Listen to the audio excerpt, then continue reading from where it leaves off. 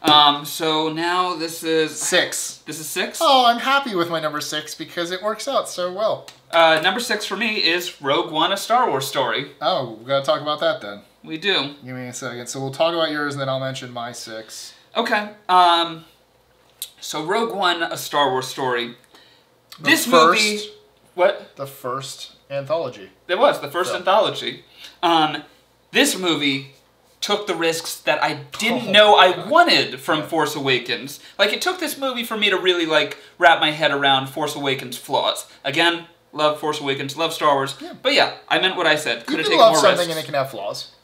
Yes, Hook's my favorite movie. Very flawed movie. The Last Jedi is the one I hate, I hate the most on here, and it's still Star Wars. Uh, the Star Wars universe felt more expanded than ever when this came out, and legit added a lot of weight to the other films of the franchise. Um, also, that Darth Vader scene was uh, one of the most beautiful things I've ever seen. I have lulled myself to sleep with that scene many a times. It's weird that you could sleep with that scene. It is a little, uh, little weird, Mm. but you know, I'm a psychopath.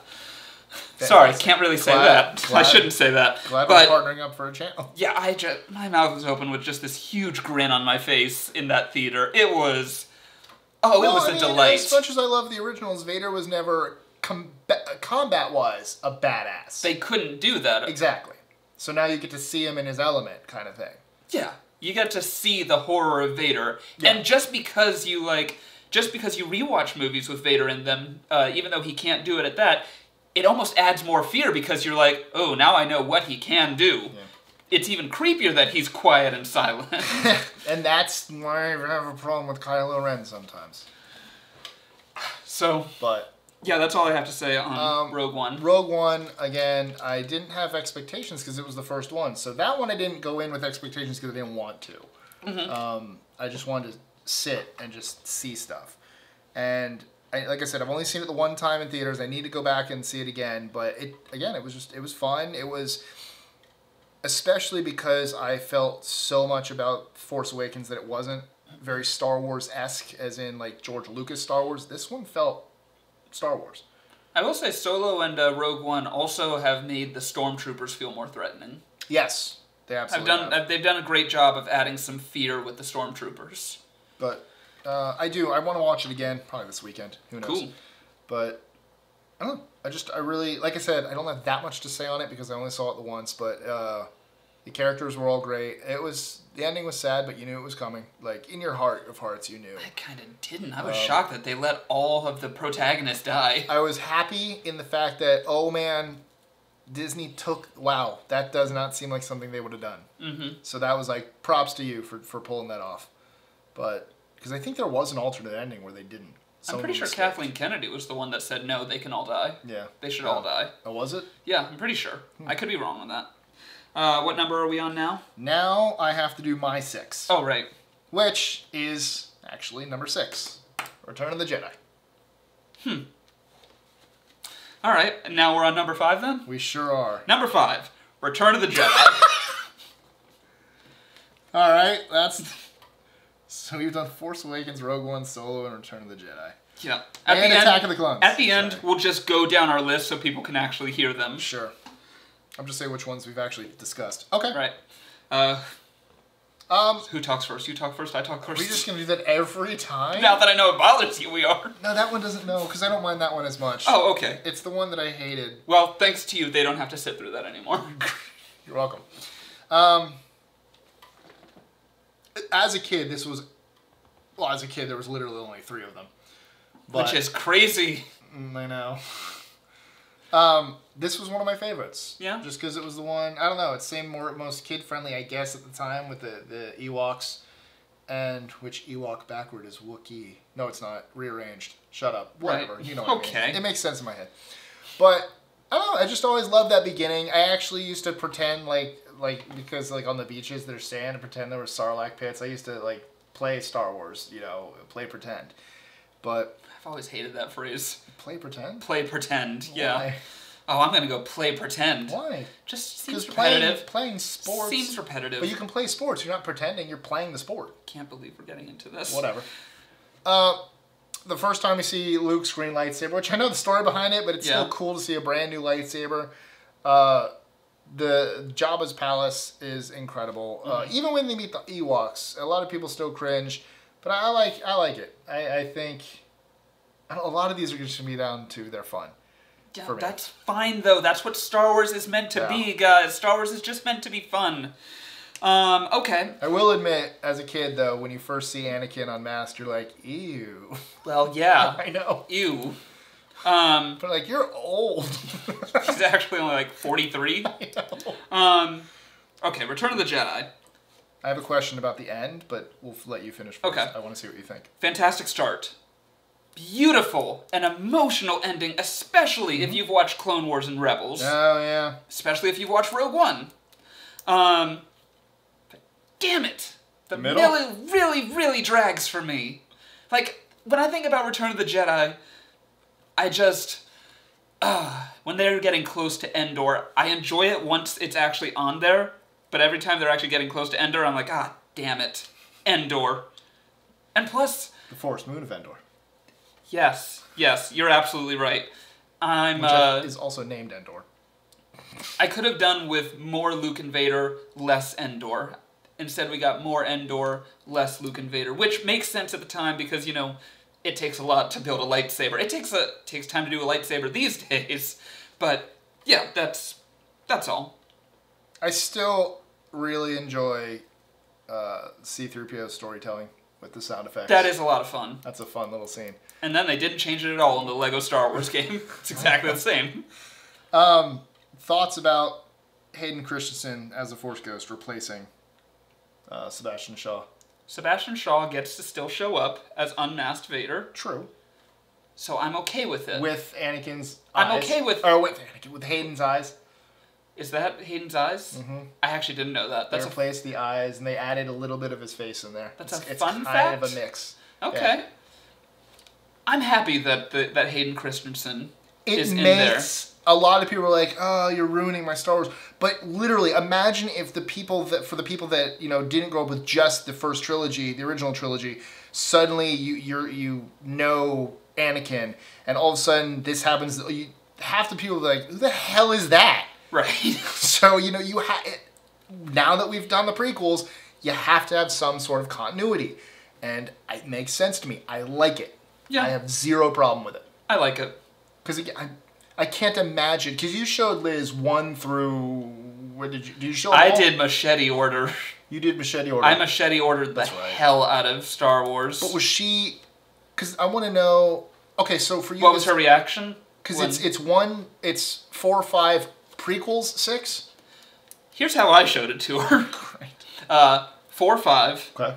one, two, the entire Wars. Clone Okay, Wars series. fine. So imagine if she had gotten to Jedi and all of a sudden saw that Force Ghost and it's not Hayden Christensen after spending all of those episodes and Mm-hmm. show episodes, and then there's fifty-year-old Sebastian Shaw. Like, Yeah. I think it'd be a little. Is that is that Anakin? That that's not Anakin. That.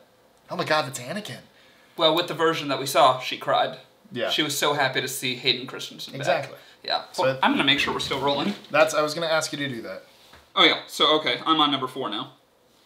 Um. So I'm on number five. Okay. What's your number five? What's your number five, Mike? A New Hope. Really? Yeah. Holy crap! Which, if you've been following along and knowing what we've already, what I've already mentioned, I am gonna get some shit. oh my god.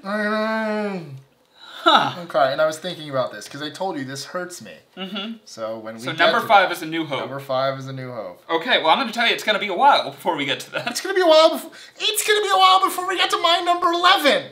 Thanks to you. That's true. Can't Um, believe we're gonna talk about that. When do we talk about that? I know, right? God. Okay, my number five. So you're number four. Number four, well, you know, here, I'm gonna give you almost a little bit of an out. Number four for me is Empire Strikes Back. Me too. Really? Yeah. Okay, well, too. it is. We have more Star Wars in common than I thought. So literally, it's blank, blank, blank, Empire, blank, blank, blank, Rogue One. No, Solo. Never mind. I thought we had a pattern going. Never mind. um, yeah, okay, well, Empire I thought I Back. might get a lot of hate for having Empire so, like, uh, Did that just break? Yeah. I need a new pen from Samsung. Oh no. Huh. How? That duct tape's looking real good right now. It's so tiny. Oh. okay, so I guess we're uh, gonna talk about Empire Strikes Back. Yeah, we are. Uh, and I'm gonna order this.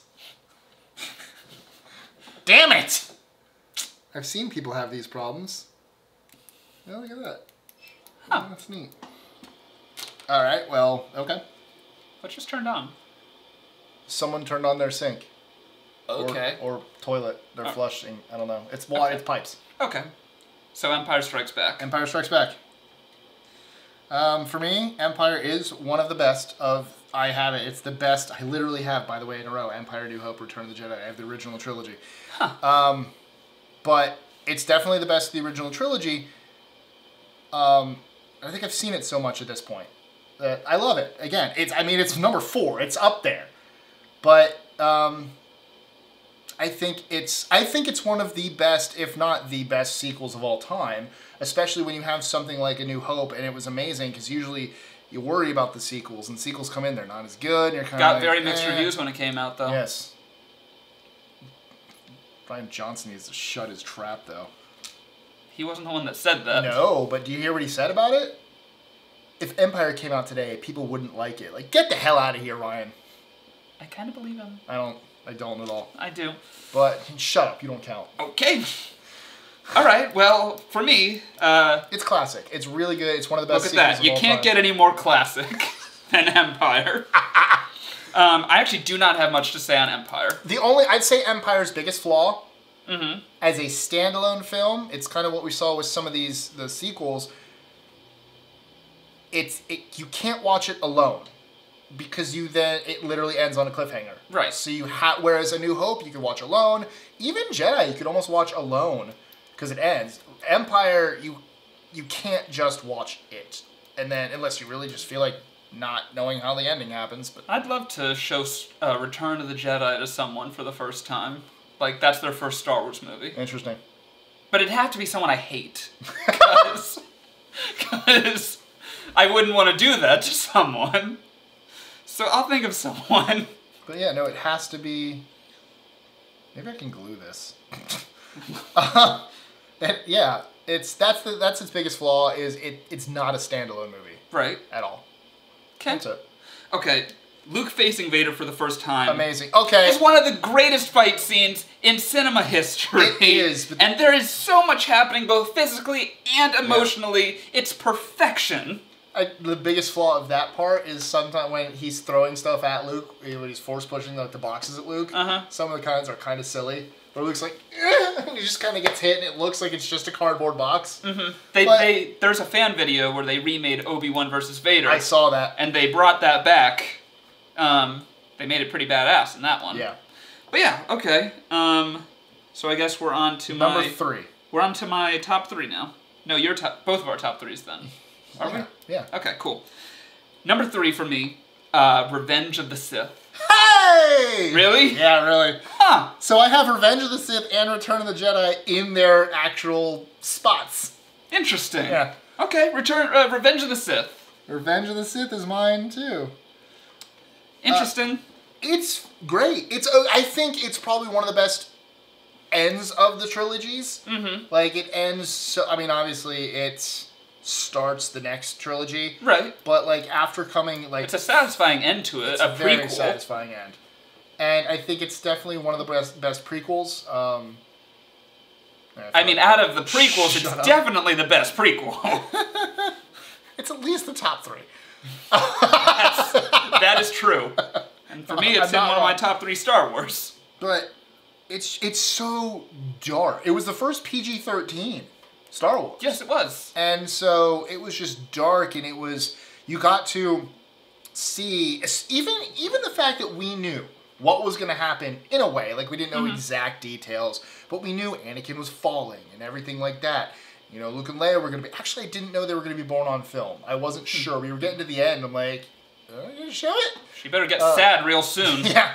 So, uh, but even though you knew, you're, st- I was still on the edge of my seat watching, and I just, You know, I remember being in that theater. I walked six or seven miles to get to the theater to see that at midnight release. Worth it. Yeah, worth it. Uh, shout out to West Shore Mall in Tampa.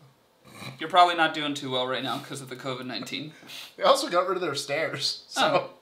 And it's hard to get up there. escalator. Okay. Um, uh, Revenge of the Sith.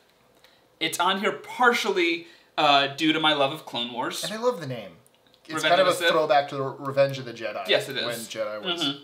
Um, also, my God, Yes. that's don't do that. Not on our channel. Um, in my opinion, this is the the best space battle in Star Wars. Is the Oh, battle God, the over? Coruscant. Yes. Yeah. Where the the the, the opening uh, crawl has just gone out. The music starts. Oh my God! And It's you like just 15 minutes, isn't it? Yes. It's kind of long. um. And then you just have this slow, like, obviously it's all digital, but this digital one shot. They didn't film that in space? They sure didn't. What? That's a fun fact for all of you. That's my number 11 now. Is- that dropped. this incredible uh, one shot that just ends Yeah. right on. Uh, that just ends with Anakin and R 2 Mm-hmm. Uh, it's oh god, I love it. That's beautiful. Um, so yeah, this is probably the Star Wars movie with the most weight to it. Oh, God, yeah. Um, there's a lot going on in this film, and a million little pieces that can be drawn from all the other sections of the universe, including Clone Wars, which I know hadn't released at the time, but um, again, only improved rewatches. There is a lot of weight that this film packed into it, and there is so much going on. Like, I mean, I would say that Revenge of the Sith is almost the heart of all Star Wars lore.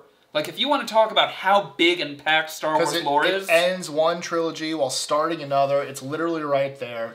And then it's also ending not only a trilogy, but an entire series, and also almost starting another one, it, Rebels. it ended an era. yeah, it does. It's one of the most important. Yes. Lore wise, obviously, A New Hope is the most important because then it would, Right. you know, lore wise, I'd say it's the most important film.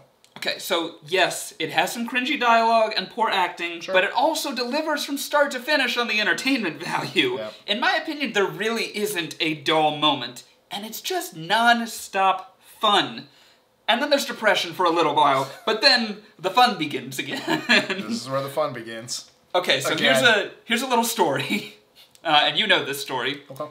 Like I said, I machete ordered the crap out of Star Wars when I was showing my girlfriend for the first time. Yeah. So I went um, New Hope, Empire Strikes Back, going back, treating it like a giant flashback after the whole Vader says, I am your father to Luke, um, which is, no, I am your father. Not Luke, I am your father. Whatever, not important. No, Luke, I am your biological dad. Perfect. Thanks. I'm gonna redub that with that. Uh, so you go back, then you watch Phantom Menace, Attack of the Clones. I showed her all six seasons of the Clone Wars. It's a shame we didn't have this like uh, this last season at the time. Um, then we get to uh, But that would have thrown you off. it would have. Because doesn't it take place during I don't know Order yet. I'm, 66? I'm a little. I think it does. Okay, It well- would be really hard to show it. It would be. So you Finish, You'd have to show. You have to pause the pause movie. the movie. so, anyways, we get to Revenge of the Sith, and then Order 66 happens. Mm. Now, when Order 66 happens, Order 66 is sad, because a lot of Jedi die. What? But, if you watch the Clone Wars, you know everything. You've now connected with You have connected Jedi. with this. So basically, what I am showing her now is a series finale where all of her favorite characters are killed. The protagonist has turned to the dark side. Isn't that just Game of Thrones? It is. It basically is. We had to pause the movie. I'm not making this up. I swear to you. She cried for two hours straight. Oh my God. We couldn't finish the movie for a while Hey, you could have watched it was just season seven when you paused the movie. exactly. It was just, it was too sad for her. Damn. Um, and then, anyways, after that, I showed her all of Rebels. I like Rebels. I do too. I think it's fun. Then I showed her Rogue One, and then we watched New Hope again. You should have had her do research on the. Oh, we also watched Solo. You should have had her do research into the characters of Rogue One, so she could have grown even more attached to them. I know, right? Then you watch uh, uh, New Hope, Empire Strikes Back. This time with a no uh, more knowledge about it. Then you watch uh, Return of the Jedi. Again, Machete ordered the crap out of this, and I don't regret any of it because uh, she went into this not liking Star Wars like really at all. She is now one of the biggest Star Wars fans I have ever met. Her favorite character is Ventress. Okay. Yeah. I mean, I mean that's a that's a sign. I'm Did not a see- true fan, but a sign of a dedicated Did you fan. see her lightsaber at Dok-Ondar's? Yes, Yeah. yes, we held it. Nice. Yeah.